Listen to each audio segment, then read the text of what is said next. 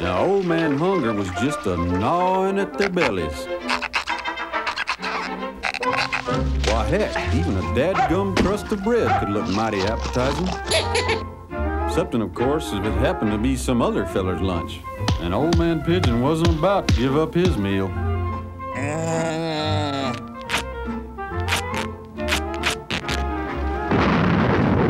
Well, it looks like old man Lady Luck just about run out on these two fellers. But always remember, when the black, hoary clouds of despair darken your doorstep, look for that one ray of hope come a shining down from above.